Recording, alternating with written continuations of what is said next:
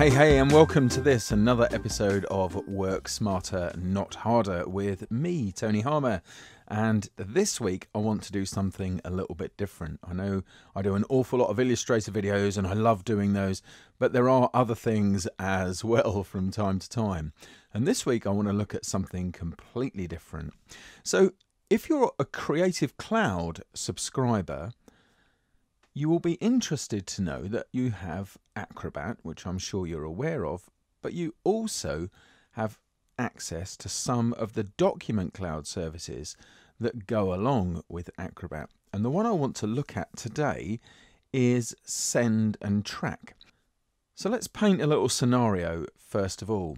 What I've got here is I've got a bunch of different files associated with a project.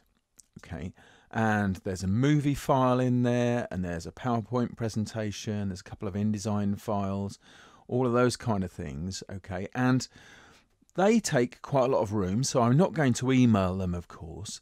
And what you'd probably do is reach out for your favorite file sharing service and so on, which you may well pay a subscription for. Well, did you know that you can actually send these files via Acrobat? It is true. I'm going to pop into Acrobat now and I've just cleared my recent files list here because what I want to do is go to the tools menu up at the top of the screen. This is where I can find my tools. You can also sometimes find it over in the sidebar just there and if it isn't there and you want it to be there you can simply go here and add that shortcut to the side. Of course mine's just saying remove because it's already there. But if I tap for send and track Okay, I can then hit select files to send and I'm going to do that whole bunch of files just there. Okay, so all of those files together, all right, and they're added like so.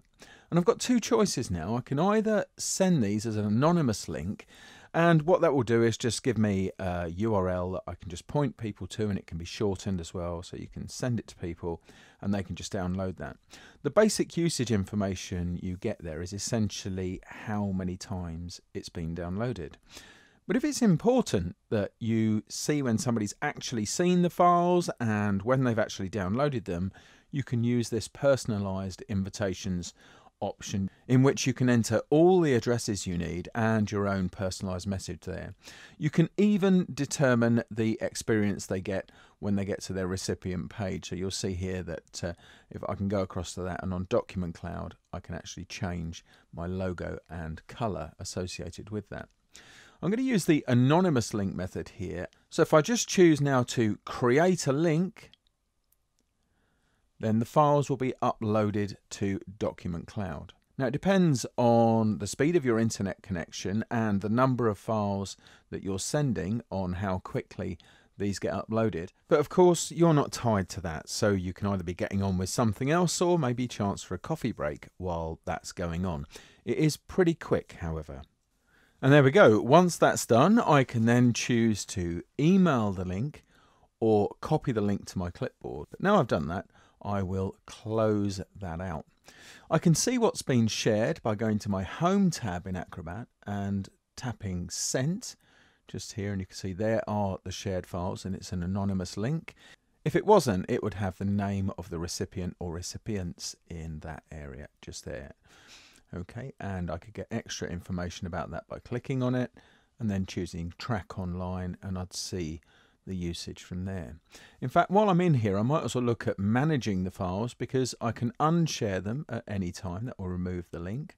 I can forward them to somebody else and I can remove them. So managing them is actually really easy. So let's switch out to a browser and see how this looks for someone who's clicked on the link. Okay, so in the browser just here, you can see who sent them, when they were sent by, and you can see all of the files associated with that. So you can see there's a PowerPoint there, there's a text file, Word file, Photoshop file, a couple of InDesign files there, uh, an MP4 file just there, and then this bunch of Illustrator files.